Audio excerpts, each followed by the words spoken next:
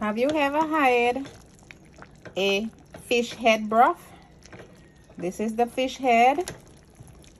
It is mahi mahi head. Dumplings, that's corn flour dumpling. Organic corn flour. Bananas, carrots,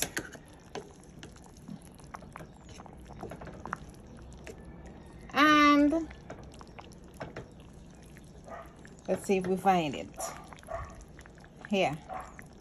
Okra. This is my fish head broth.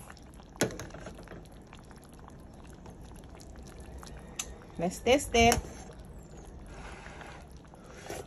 Mmm. It's delicious. The right amount of salt